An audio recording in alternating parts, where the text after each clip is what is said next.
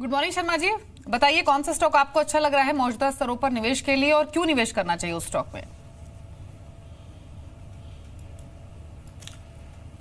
Good morning मैं समझता हूँ कि ये uh, सही समय है कि हम uh, कुछ पुराने स्टॉक जो है वो वापस रिव्यू कर लें। तो आज मेरी पिक में जो है एक पुराना स्टॉक है जो पहले मैंने ऊपर में रिकमेंड किया हुआ था और ये है सेटको ऑटोमेटिव सेटको ऑटोमेटिव जो है वो भारत की जो है सबसे बड़ी, बल्कि dominant 90 percent market share commercial vehicles की क्लच असेंबली का इस कंपनी के पास में है।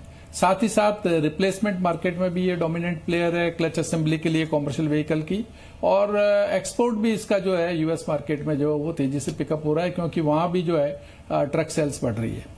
डोमेस्टिक मार्केट में भी आपको सबको मालूम है कि कॉमर्शियल व्हीकल की सेल जो है करंट ईयर में मंथ ऑन मंथ अगर आप देख रहे हैं तो लगातार बहुत अच्छी ग्रोथ दिखा रहा है।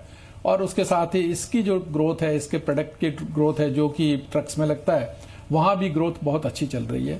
साथ ही साथ पिछले साल इन्होंने बैकवर्ड इंटीग्रेशन किया था, लावा कास्टिंग करके कास्टिंग यूनिट लगाई थी अपने क्लच असेंबली को बनाने के लिए कास्टिंग की।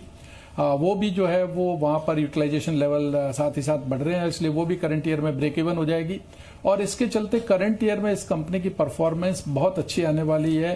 करीब करीब पाँच रुपए के आसपास जो है अर्निंग इसकी आ सकती है। और उसको देखते हुए ये शेयर जो पहले मैंने ऊपर में रिकमेंड किया था, अभी 36 के आसपास है और यहाँ बहुत ही अट्रैक्टिव लग रहा है। मैं समझता हूँ मतलब वैसे तो कहने को शेयर बाज़ार है जहाँ हम कुछ नहीं कह सकते। पहले जिस लेवल पे हमने लिया, वहाँ से भी मुझे नहीं लगता कि नीचे जाएगा, लेकिन यहाँ से तो अब हरगिज नहीं लगता कि और नीचे जाने की जगह है। और एक डोमिनेंट मार्केट प्लेयर और वो भी टॉप क्लास कंपनी वो आपको इस प्राइस पे मिलती है जहाँ पाँच छह रुपए की अर्निंग आने वाली है और छत्तीस सैंतीस का भाव मैं समझता हूँ बहुत ही अट्रैक्टिव लेवल से लेकर के जो इसको दो साल भूल जाएगा, वो बहुत पैसा कमाएगा। जो डाउनफॉल आया है, वो इसका मार्केट के कारण आया है, ना कि इसके कोई फंडामेंटल्स के कारण। कुल तो ये है स्टॉक और आज तो देखिए, आपके बोलते बोलते स्टॉक छह परसेंट, सात परसेंट मज़बूत हो चुका है। सेट को ऑटो चालीस रुपए के दाम पर डीडी शर्मा साहब की राय पहले अगर आपने खरीदा है तो डेफिनेटली एवरेज कर लीजिए, कोई चिंता की बात नहीं और इस बीच निफ्टी ने दिन का हाई बनाया है दस का। बैंक निफ्टी सवा सौ अंक फिर से मज़बूत होता हुआ दिख रहा है और दस की कमाई अब कर लेते हैं। शुभम अग्रवाल के साथ शुभम जी को पूछते हैं, उनकी है कौन सी पिक्स शुभम जी बताइए। लगता है शुभम जी से संपर्क करने में थोड़ी सी मुश्किल आ रही है, लेकिन, कुणाल जी बंसल जी, आप तैयार हैं? दोनों साथ में? इन्वेस्टमेंट कॉल बिगुल बजा दें। ओके दस की कमाई कुणाल जी और बंसल जी करवाएँगे।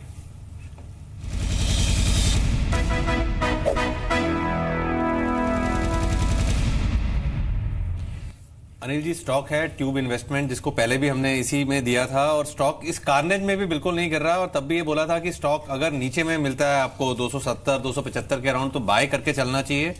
जिन्होंने लिया है, वो डेफिनेटली होल्ड करें और नई खरीदारी का भी स्टॉक कैंडिडेट जिन्होंने नहीं खरीदा, उनको भी खरीदना चाहिए। और एक बार ये स्टॉक कॉन्सोलिडेट हो रहा है, एक बार तीन सौ रुपए के ऊपर निकलेगा तो एक बड़ा upmove towards three fifty three sixty तक का देखने को मिलेगा।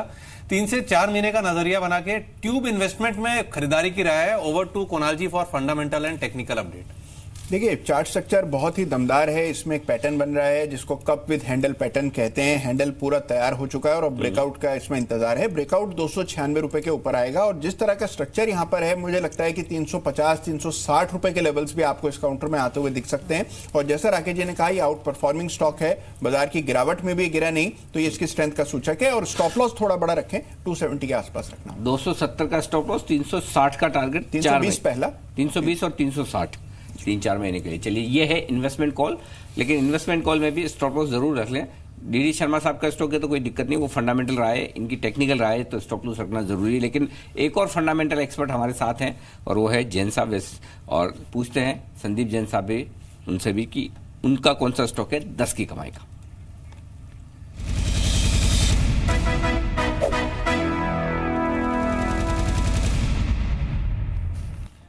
साहब, बताइए सर। देखिए अनिल जी मैंने शुरुआत में एक स्टॉक दिया था थायरो केयर इनफैक्ट ये स्टॉक मैंने काफ़ी बार दे दिया है चैनल पे बट फिर भी मुझे ऐसा लगता है कि इन टाइप के माहौल में जो सेफ़ स्टॉक है लो बीटा स्टॉक है, बहुत ज़्यादा सुस्त होते हैं, वो अच्छे लगते हैं और साथ में ग्रोथ भी ये कंपनी ज़बरदस्त दे रही है और पर्टिकुलरली ये सेगमेंट जो है डायग्नोस्टिक सेंटर्स वाला सेगमेंट अच्छा लगता है और ये कंपनी अपने ही एक अंदाज में ये काम करती है और प्राइसिंग को लेकर जैसे कि इंडियन पब्लिक काफ़ी सेंसिटिव रहती है तो ये कंपनी भी काफ़ी एग्रेसिव प्राइसिंग के लिए जानी जाती है और मेरे हिसाब से जो भी वैल्यूएशंस और पिछले अगर पाँच छः सेशंस में देखें तो इस स्टॉक ने निराश नहीं किया है, जो एक बहुत ज़्यादा पैनिक वाली सेलिंग बाकी अच्छे अच्छे मतलब टीसीएस और रिलायंस और ये बड़े बड़े दिग्गजों में आई है बट यहाँ पे नहीं आई है तो ये कहीं ना कहीं रेजिलियंस दिखा रहा है। मुझे ऐसा लगता है कि इस स्टॉक में बिल्कुल बने रहना चाहिए और बिल्कुल बाय ऑन डिक्लाइंस की रणनीति भी है और आज हालाँकि ये थोड़ा बहुत हो सकता है नेगेटिव में हो तो कोई अपॉर्चुनिटी भी है वैसे बाइंग करने की तो मेरे हिसाब से तो बिल्कुल बाइंग करनी चाहिए। खरीदने की सलाह है थायरोकेयर। अभी छह सौ सड़सठ पर ही कर रहा है ट्रेड लेकिन कुछ और स्टॉक्स हैं जहाँ चुनिंदा, जहाँ पर अच्छी तेज़ी बन रही है। उसमें एक है बॉम्बे बर्मा ट्रेडिंग कॉर्पोरेशन का। पिछले कुछ मिनटों के दौरान अच्छी तेज़ी स्टॉक में इमर्ज हुई है। वॉल्यूम्स के साथ और अब चार परसेंट के उछाल के साथ ही कर रहा है ट्रेड बारह के लेवल्स पर। कुणाल जी, इस मूव के बाद दीजिए अपनी राय। देखिए, यहाँ पर एक अच्छा करेक्शन आ चुका है दीपाली। देखिए 2000 का हाई लगा लेने के बाद बीबीटीसी अब 1150 1200 के स्तरों पर ट्रेड हो रहा है। तो यहाँ पर मुझे लगता है कि खोने के लिए कुछ खास नहीं है। बहुत ही मामूली सा एक स्टॉप लॉस रखें। 1140 के आसपास एक स्टॉप लॉस रखना चाहिए। और मुझे लगता है कि इसको होल्ड करें तो उसमें फोर्टीन तक का पुल तो निश्चित आता हुआ दिखेगा। मेरी राय में यहाँ पर रिस्क रिवॉर्ड बहुत फेवरेबल है। बाय करने की राय। खरीदने की सलाह इन स्तरों पर बॉम्बे, बर्मा। लेकिन एक और स्टॉक या इंडेक्स जहाँ पर पोजीशंस आप बना सकते हैं, कौन सा है, जानेंगे और रुक करेंगे चलते चलते स्टॉक यानी अभी तो पार्टी शुरू हुई है।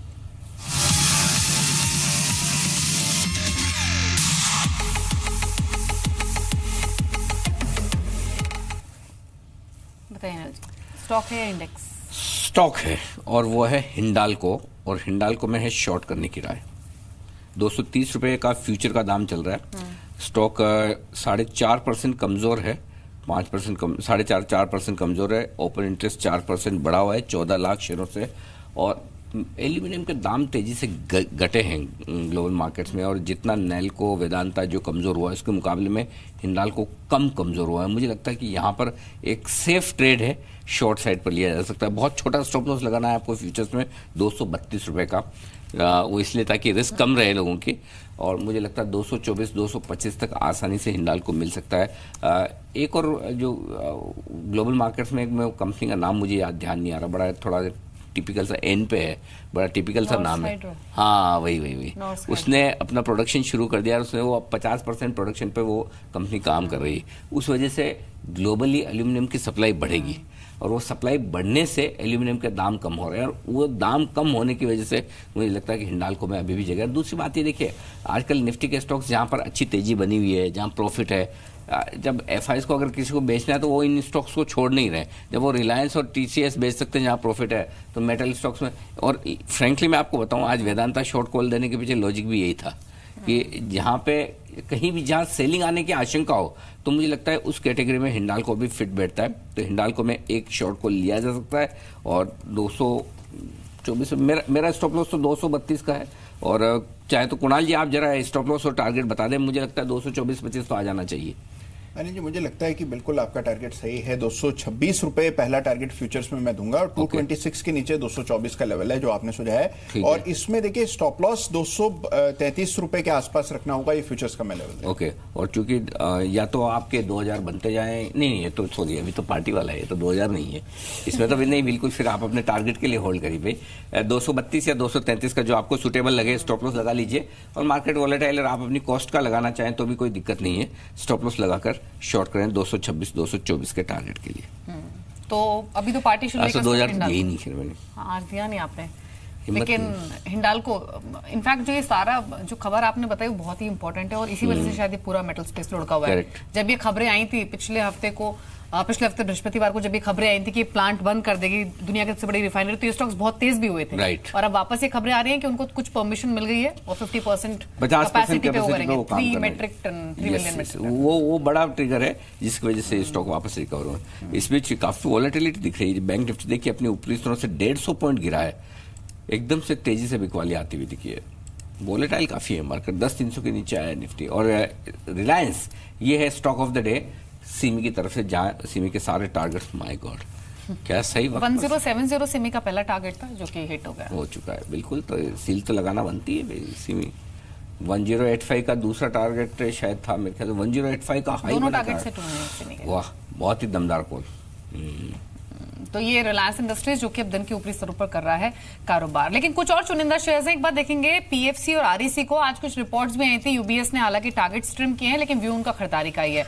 और स्टॉक्स ये दोनों तेज़ी के साथ ही कारोबार करते हुए दिख रहे हैं। पीएफसी छिहत्तर साठ के लेवल्स पर है, लेकिन आरईसी यहाँ पर मजबूती ज़्यादा है। आरईसी पर इसीलिए किराया ले लेते हैं। कुणाल जी, अपना व्यू दीजिए। आरईसी पर 103 पर कर रहा है कारोबार अभी। देखिए ज़रूर आज आपको एक अपटेक दिख रहा है दीपाली लेकिन चार्ट में किसी तरह का कोई सुधार नहीं है। मुझे नहीं लगता आरएसी इन स्तरों पर लेना चाहिए। जब तक 120 के ऊपर ये निकल ना जाए टिक ना जाए तब तक इसका स्ट्रक्चर सुधरेगा नहीं। और ऊपरी स्तरों पर मुझे लगता है कि चाहिए। अगर ये मान लीजिए 112 113 के लेवल्स दिखाए तो वहाँ पर शॉर्ट करना ज़्यादा बेहतर है बजाय इसके कि इन स्तरों पर खरीदा जाए। ओके शॉर्ट करना ज़्यादा बेहतर है। नीचे में खरीदना नहीं है ऊपर में बेचना है। ये चीज़ बेहद साफ़ है साफ़ साफ़, साफ़ दिख ही रहा है। हाँ एक और स्टॉक है जहाँ पर रिकवरी आती हुई दिख रही है और वो है आयशर मोटर्स का। इक्कीस हज़ार पाँच सौ आज का हाई बहुत बढ़िया दिख रहा है बंसल जी। 22,000 बाईस हज़ार दो सौ बाईस। Two two two two two two. टूटने के बाद इसने two two two two two के हाई बनाए बाईस हज़ार दो सौ बाईस फ्यूचर में। बताइए, क्या करना है? अच्छा कैश में भी यही है सेम अच्छा फ्यूचर ही है ओके देख लीजिए। अनिल जी बॉटम फिशिंग की राय नहीं रहेगी क्योंकि ऑटो स्टॉक्स के अंदर ना एक नेगेटिव रुझान दिख रहा है। जैसे शो की शुरुआत में कुणाल जी ने टीवीएस मोटर पर एक फ्रेश सेल कॉल दिया था और मॉर्निंग में स्टॉक तीन परसेंट डाउन था। Technically pattern Anil ji distorted है। ट्रेडिंग के नज़रिए से भी बाय नहीं है और किसी का अगर लंबी अवधि का नज़रिया है तो बात अलग है एल्स मेरी समझ से इसको अवॉइड करना चाहिए। अवॉइड करने की सलाह है आयुष मोटर्स एक बार टू व्हीलर ऑटो स्टॉक्स को भी देख लेते हैं। इस बार के फेस्टिव सीज़न में भारी भरकम डिस्काउंट टू व्हीलर कंपनियाँ दे रही हैं। तो उसका भी डर है कि उसका इम्पैक्ट इनके ओवरऑल मार्जिन पर और फाइनेंशियल्स पर पड़ सकता है। और आज हालाँकि हल्की खरीदारी हीरो मोटोकॉप में एक परसेंट ऊपर है। टीवीएस मोटर्स तो काफ़ी रुड़का हुआ था। बजाज ऑटो भी ग्यारह रुपए नीचे कर रहा है कारोबार। और टीवीएस मोटर अभी भी ढाई परसेंट की कमज़ोरी के साथ ट्रेड करते हुए। तो ये टू व्हीलर ऑटो स्टॉक्स का पर रहा है। एक फटाफट से एक छोटी सी राय लेते हैं संदीप जैन की। Sandeep ji two wheeler auto stocks भारी भरकम डिस्काउंट दे रही हैं और उस बात की भी चिंता है कि उसका असर इनके नतीजों पर दिख सकता है। क्या व्यू है आपका? बिल्कुल, देखिए ब्याज रेटें बढ़ना और क्रूड ऑयल का बढ़ना, ये वैसे ही सेगमेंट के लिए पॉजिटिव नहीं है और मेटल्स की प्राइसेस भी स्ट्रांग थी और फिर भी ये अगर डिस्काउंट देते तो सर्टेनली बैलेंस शीट पे, इनके मार्जिन्स पे काफ़ी इम्पैक्ट पड़ेगा। बट फिर भी मुझे ऐसा लगता है कि मैं अगर सारे स्टॉक्स में अगर चुनना चाहूँ तो मैं हीरो मोटोकॉप के साथ ज़्यादा कंफर्टेबल हूँ। मुझे आइशर महँगा लगता है टीवीएस जैसा कि आज बहुत सही राय दी, वो भी महँगा लगता है वैल्यूएशंस के लिहाज से। तो बाकी अभी फ्रेश राय नहीं दे रहा हूँ मैं इस सेक्टर पे। थोड़ा सा मैं वेट करूँगा और राइट लेवल्स आएँगे माहौल सही होगा तब फ्रेश बाइंग की राय देंगे। बाकी एक बार जिन्होंने ले रखा वो होल्ड करके रख सकते हैं। बाकी ओवरऑल फ्रेश बाइंग और बाय ऑन डिक्लाइंस की राय अभी नहीं है। आखिरी एक मिनट है। दीपाली एक स्टॉक और है जिसमें अभी तो पार्टी शुरू हुई है वो हमें कर लेना चाहिए। ठीक है तो रुक कर लेते हैं इसी सेगमेंट का एक बार फिर से।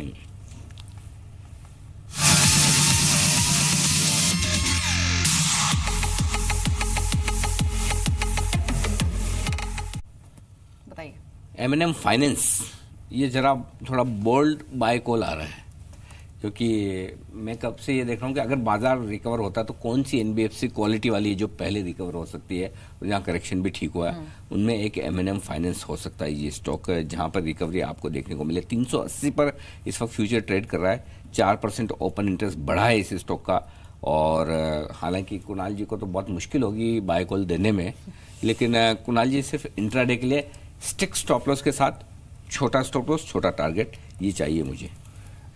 छोटा। टारगेट अनिल जी होगा 388 का। Okay. 388 382 का मौजूदा पहले का भी चलेगा? हाँ, पहले का लेवल 385 है। इतना कॉन्फिडेंस मेरा भी नहीं है। 385 388 दो लेवल तीन सौ पचासी तीन सौ अठासी और छोटा स्टॉप लॉस और स्टॉप लॉस देखिए 375 पे रखना पड़ेगा। तीन सौ पचहत्तर पे स्टॉप लॉस ठीक है? तीन सौ पचहत्तर पे स्टॉप लॉस तीन सौ पचासी तीन सौ अठासी का टारगेट और आ, आ, इसमें एक चीज़ और भी ध्यान रख सकते हैं। अगर निफ्टी दस तीन सौ के नीचे ट्रेड करना शुरू करे या बैंक निफ्टी आज का जो हाई है चौबीस चार सौ तैयलीस उसके नीचे ट्रेड करना शुरू करें तो आप फिर एम एन एम के स्टॉप लॉस का भी इंतज़ार न करें उससे पहले ही निकल जाएँ क्योंकि मार्केट को भी आपको साथ में देखना है। ये कॉल सब्जेक्ट टू मार्केट है।